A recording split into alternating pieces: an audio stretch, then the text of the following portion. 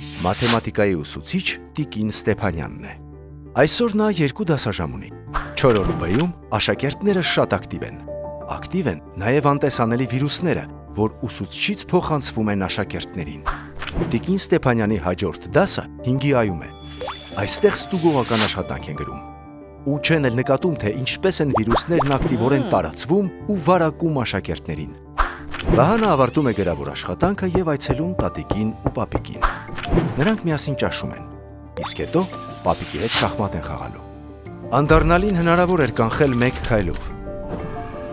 Պատվաստիր, որ պաշտպանես։